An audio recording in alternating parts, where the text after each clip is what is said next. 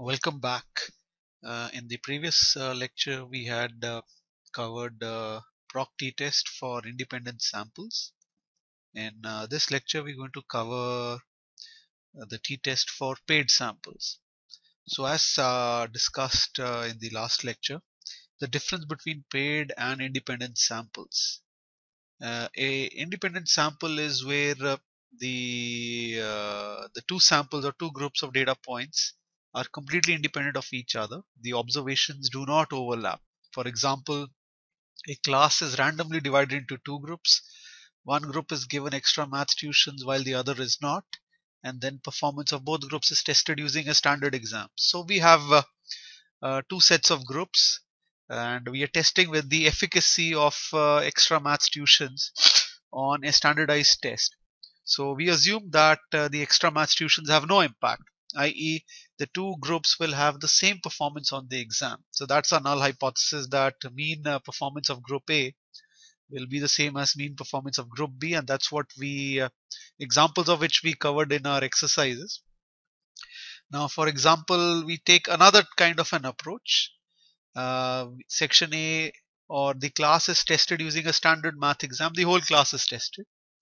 Uh, the scores are noted then the whole class is now given extra math tuitions and tested again. So we have a kind of a before after impact of uh, giving a tuition to a class.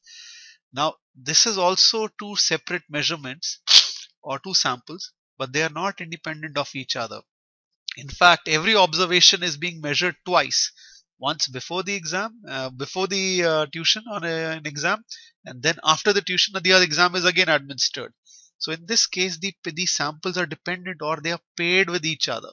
So this is not a case of independent samples. It is the same observation getting repeated measures. So this is an example of uh, a paired sample t-test. The formula and uh, the implementation for these uh, two, two kinds, independent and paired, is slightly different from each other. Uh, another example of uh, paired test is let's say we take a sample of 100 people we measure their weight, put them onto a diet, and then they measure the weight again after a period of time. And we want to check the efficacy of this diet, whether this diet has actually worked or not. So in this case, we have two samples. One is the before uh, diet measurement, the other is the after diet measurement. The null remains the same. That the two samples are equal, i.e. the diet did not work. Alternative, the two samples are different. The diet did change the weight an independent samples test of the same example would be that we create a test group and a control group, two separate independent groups. One group gets the diet, the other group does nothing, and then we uh, we uh, weigh the results after a while. So that's an independent samples example. How to do a proc t test on uh, SAS uh, for paired samples? So the uh, syntax is similar. So proc t test data equal to data set name. So we look at the paired samples uh, syntax. We already have covered independent samples examples in the last few lectures. So proc t test data equal to data set name. The keyword is paired. Variable 1 multiplied by variable 2, where variable 1 and variable 2 are the two measurements of the samples getting uh, uh, measured against each other. The null hypothesis being that uh, mean of var1 is the same as mean of var2. Alternative is var1 is different from var2, i.e. null is saying that variable 1 and variable 2 are two samples derived from the same population. Uh, that's the null hypothesis. The alternative says that these two samples are coming from different populations which have different means. So now we'll take a few examples of uh, paired sample t-test and we will uh, do it across all the tools that we've been uh, covering. So we've already covered uh, this set of exercises which is on independent samples. Let's look at some paired samples uh, testing uh, over here. So on the HSB2 data set, test if mean write score is different from mean read score. So if I look at uh, in SAS uh, the the uh, uh, the HSB2 data set, so these are the scores of the students. So we can say read and write are two different measurements on the same set of observations. So we take the students, we subject them to a read test, then we subject them to a write test. So this is this is not two different samples. This is the same set of sample which is being given, which is undergoing repeated measurements. The assumption that we are testing is whether the performance of the student is different for read as compared to write. So this is an example of a paired sample t-test. So I'm going to perform a paired sample t-test over here. Uh, let's look at the code. I'm going to copy this code into SAS and uh, run this. So this is what the code looks like. Let's copy this into SAS.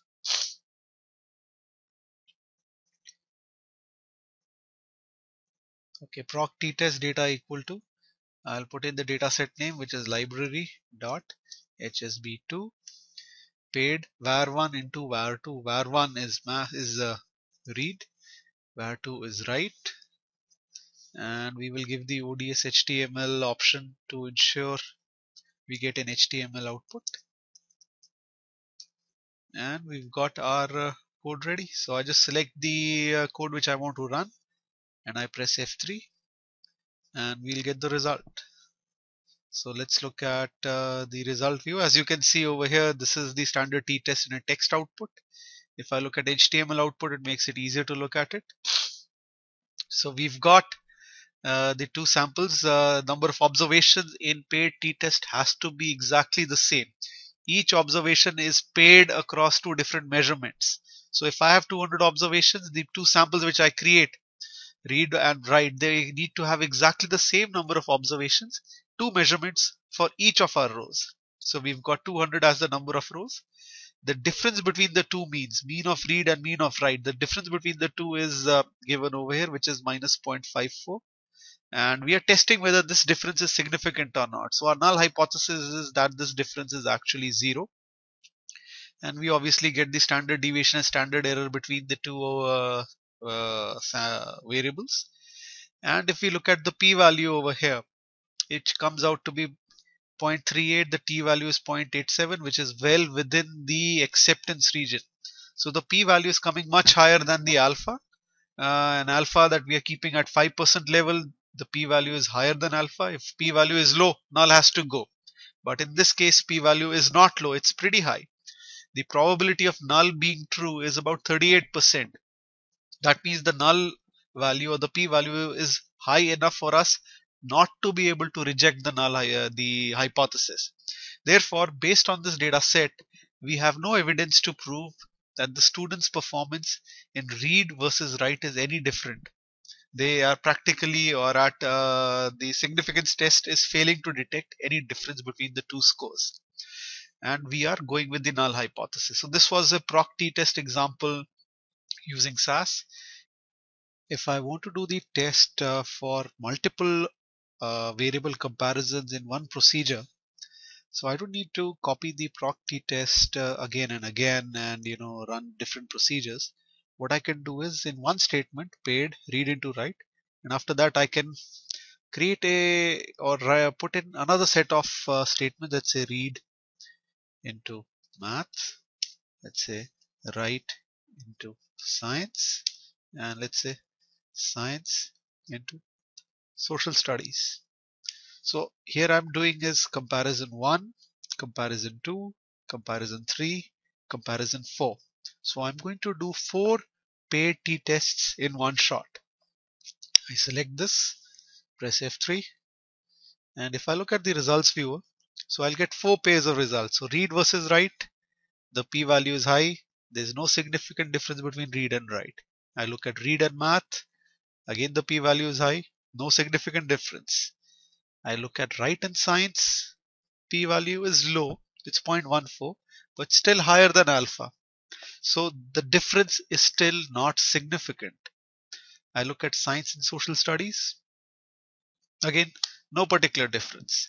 And what you can do at your uh, own side is that uh, compare every subject with every other subject and figure out if there's any pair which is significantly different from each other. I'll move on to compare to doing a paired t-test on SPSS now. So I've got the same data set running in SPSS.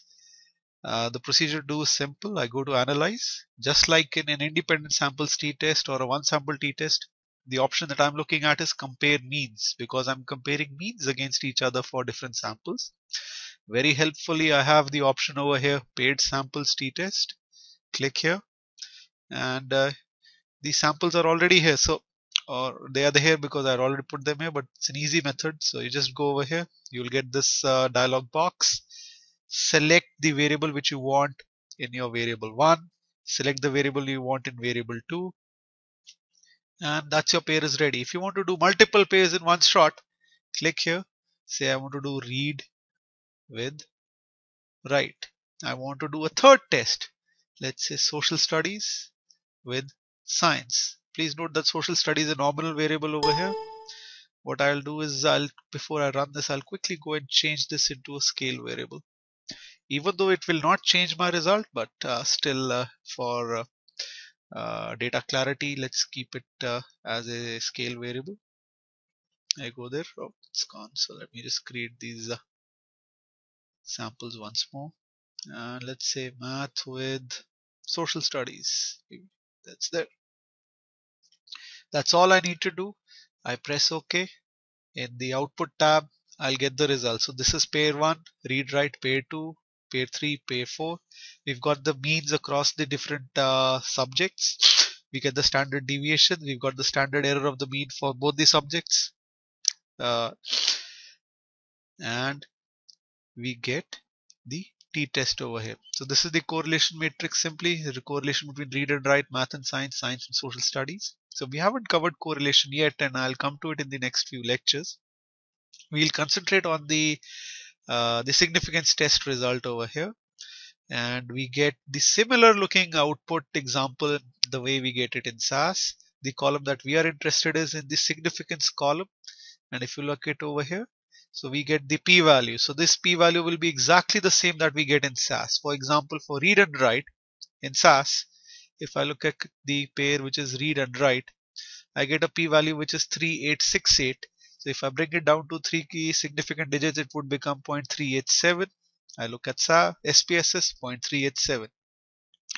If I look at math and science, I don't know if we have got math and science over here, read math, write science. Not to worry, we'll just put in math with science and run this again.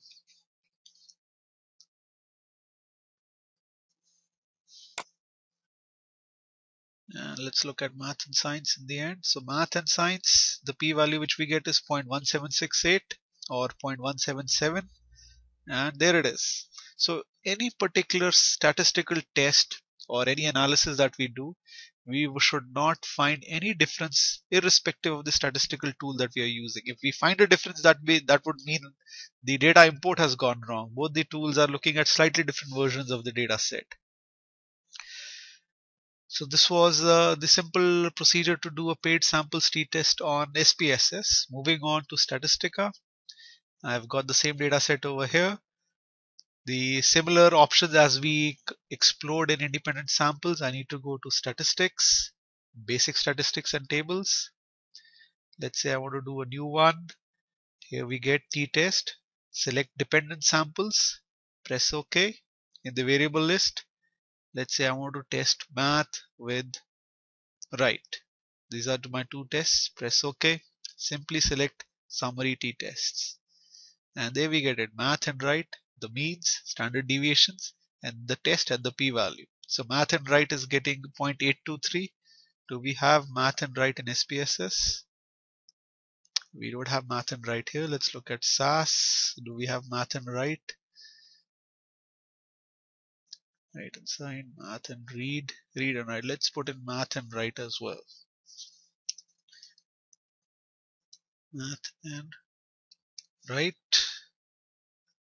So in SPSS is about 0.82. Let's look at what's over here. It should be exactly the same 0.8237. If I look at uh, Statistica, it's 0.8237. If I look at SPSS, let me add that uh, couple as well. So math and right. And there we get it 0.824, uh, which is simply 0.823744 uh, rounded off. So it becomes 0.82 just a minute is it different? Yeah 0.824 alright so we've covered doing a paired samples t-test on Statistica on SPSS on SAS we haven't covered how to do multiple variables in statistic and one shot so I'll quickly show you the procedure. So in the variable list I'll select let's say multiple variables over here in var1 list. I'll select multiple variables in the var2 list press ok and summary t-tests so what it will do is uh, it will for every variable selected on the left hand side it will create a pair with every variable selected on the right hand side or on the second uh, variable selection. So we will effectively get every possible uh, combination of uh, the variables. It's it's much easier than manually dragging it in SPSS or uh, explicitly mentioning it in SAS on the other hand we get a whole big a uh, whole lot of outputs over here so if I compare a variable with itself, the means will be exactly the same. Therefore, they are obviously coming from the same population. The p-value will be very high. It will be in fact 1. So every pair with every pair with itself. So we get the p-values over here. And in uh, Statistica, if you remember, if the p-value goes lower than 0.05, it will automatically give you a red font. So over here we see that none of the pairs is coming up as significant. In fact, all five uh, scores are virtually coming from the same population. And uh, since it's a standardized test, that's not a surprise. Let's look at another example of paired samples uh, t-test. What we want to do is in uh, so we've already covered HSB2 data and we've covered the scores against each other. Let's look at the car sales data and uh, check if sales and resales have the same mean. So in the car sales data, we've got a column which gives the sales and then we've got a column which gives the resales. And we want to check if these two columns have the same mean or not. And these are repeated measures of uh, the, the same observation. So we're going to do a paired samples t-test over here. So same procedure. I've got the car sales data in SAS. The column names are sales and resales. So let's apply this proc t-test data equal to data dot car underscore sales paired sales into resale run. I'll just check the spelling for resale. I don't want to get it wrong. It's sales and resale that's fine. I select this press F3 and we get our result. So sales and resale is the means. The difference in mean is in fact very large. The p-value is very low. Null has to go. So p-value is low null has to go. The difference in the means between sale and resale is extremely extremely significant. If I look at uh, Statistica and let's look at the results. I don't want to save this let's have a look if we have the data. So there's the car sales data. I select the car sales data go to statistics basic statistics dependent samples look at the variables. I've got sales here. I'll select resales here press OK click on summary of t-tests and as you can see the difference between the two variables is uh, coming out to be significant in fact, the mean for sales is 58.7, for resales is 18.03. That's a huge difference and it's coming highly significant. Another easy way is that if you look at the box and whiskers plots for these two, you will see that for resales, this is the resale value is coming out at somewhere over here and for sales it's coming out at somewhere over here. So the volume difference is huge and that difference is coming as significant and to do it in SPSS let's open the data set so I've got the car sales data already in SPSS format. Analyze compare means paired samples t-test. I select sales I select resale press OK. Look at the p-value extremely low 0.000 now has to go. So all three uh, tools giving me exactly the same result no surprises there right so this is what uh, in this session we wanted to cover uh, several examples regarding paired sample t-test and more importantly when to use independent samples, when to use uh, paired or dependent samples. The rule of thumb is that if the observation or that row is not coming in these two samples, that's an independent sample. If the row is coming in the two samples, that's a paired or a dependent sample. For example, I pick up this row. If I look at the sales uh, sample and the resale sample, this row is repeated or it's coming in both the two samples. This gives us an a dependent sample or a paired sample. But if we remember, if we did the test where we are comparing the means of mileage for SUVs versus non-SUVs, so the data set was divided based on the value of type. So based on zero or the value of one, either a row came in an SUV or a non-SUV, it did not come in both the samples. Therefore, there were two different samples. So that was where we would do an independent samples t-test. Also remember, in a paired sample t-test, the number of observations in the two samples has to be exactly the same. We can't have a difference because the same observation is supposed to be measured twice. So this is what we wanted to cover in our exercise for uh, paired samples t-test.